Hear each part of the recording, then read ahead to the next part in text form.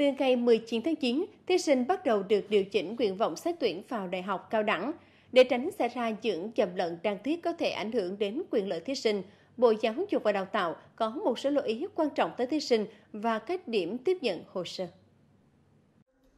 Về thời gian, thí sinh điều chỉnh nguyện vọng trực tuyến online từ ngày 19 tháng 9 đến ngày 25 tháng 9 năm 2020. Hình thức điều chỉnh nguyện vọng trực tuyến chỉ áp dụng đối với thí sinh không điều chỉnh khu vực ưu tiên, đối tượng ưu tiên và không tăng thêm nguyện vọng đăng ký xét tuyển. Thí sinh điều chỉnh bằng phiếu offline, nộp phiếu điều chỉnh tại điểm tiếp nhận hồ sơ từ ngày 19 tháng 9 đến ngày 27 tháng 9. Hình thức điều chỉnh bằng phiếu áp dụng đối với tất cả các thí sinh muốn điều chỉnh nguyện vọng đăng ký xét tuyển. Trong quá trình thực hiện điều chỉnh nguyện vọng, nếu gặp vướng mắc, thí sinh và điểm tiếp nhận hồ sơ liên hệ hotline 1800 8000 nhánh số 2 để được hỗ trợ kịp thời.